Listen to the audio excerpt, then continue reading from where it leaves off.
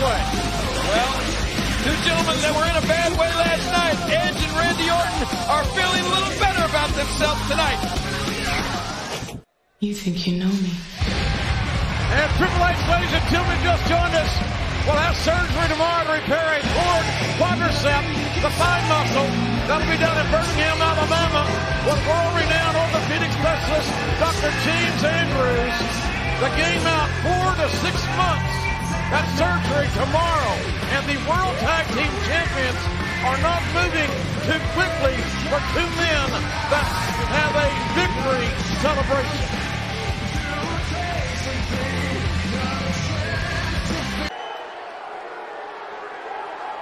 Before DX faced Edge and I last night, let's just say all of us, we, we talked a little smack. Let's take a look at what DX said a week ago on Raw about us. Edge, Orton, welcome to the other side. We are going to tear flesh. We are going to leave you laying in a twisted, bloody heap.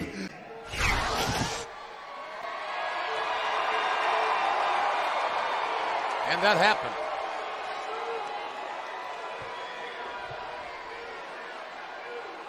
Judging by the looks of Edge and I, DX kept their word.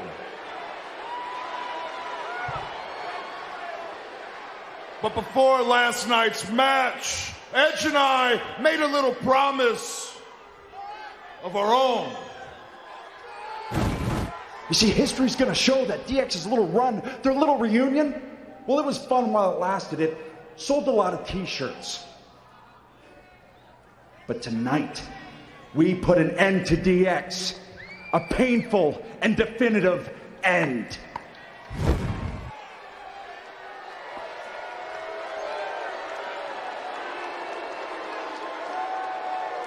Now, what's that expression?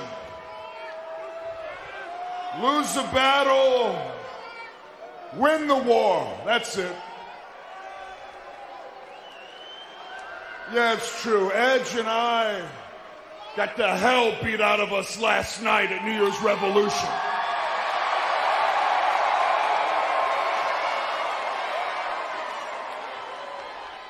Shawn Michaels jumped from the top turnbuckle to the announce table, driving his elbow through my chest. Meanwhile, Triple H, Triple H gave Edge a pedigree to the other announce table. Now these actions split both of us up.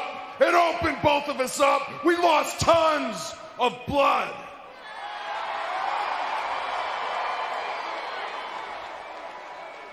We lost tons of blood in this ring last night.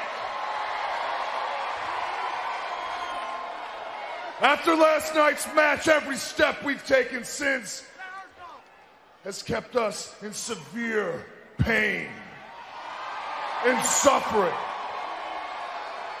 But, but, it was worth it.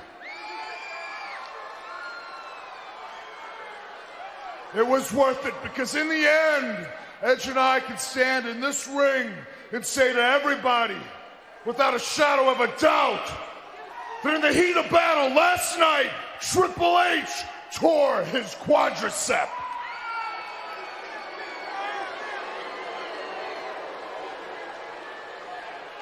Oh, sure, he was in pain and he pushed, he pushed himself while in being such an intense amount of pain. But through that last gasp of adrenaline, that last outpour, that outcry for energy, he, he stopped too soon. The damage was done. He was finished.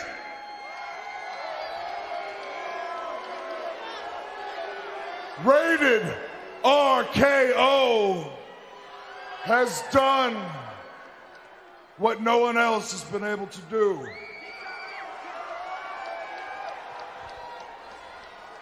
And that is End DX.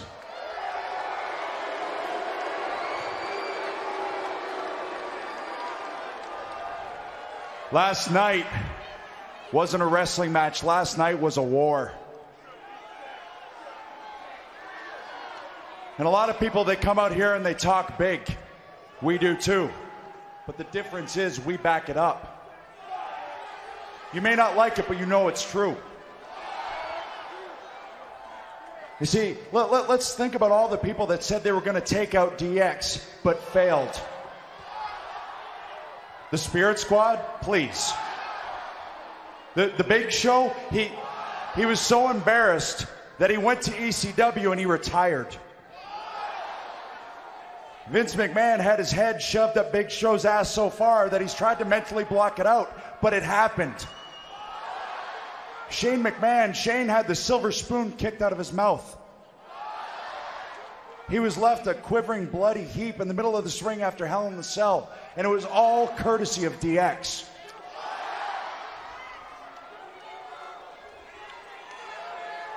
Last night, we took out Triple H. We finished half the job.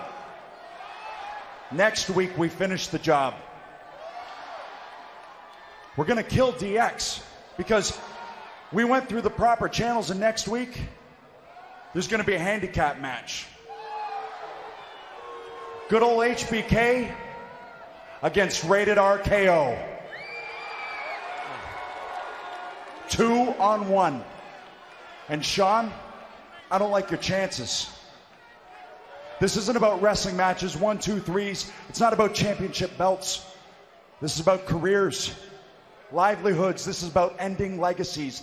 And next week, we end yours.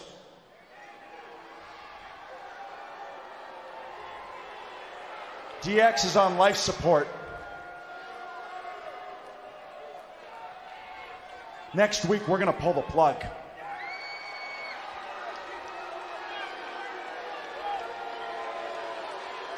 Next week, DX will finally be dead.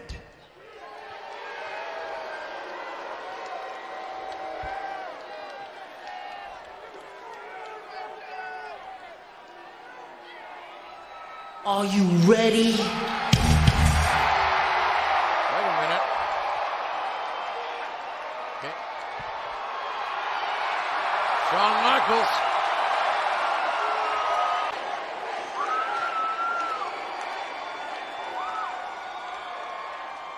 I came out here tonight out of respect for the people of St. Louis.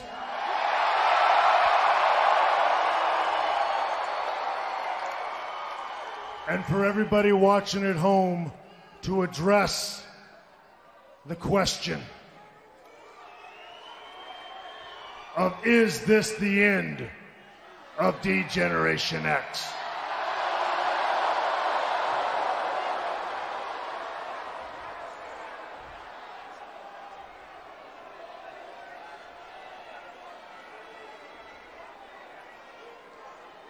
The answer is I don't know. What I do know is that my partner, more importantly, my best friend, right now, is lying in a hospital bed in Birmingham, Alabama. And tomorrow, he undergoes surgery.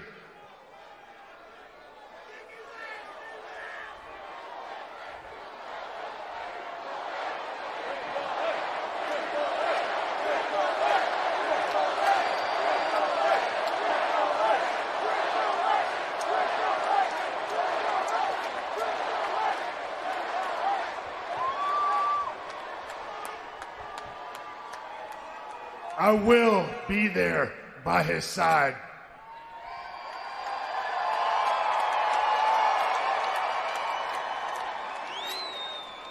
As for you two, I will deal with you next week.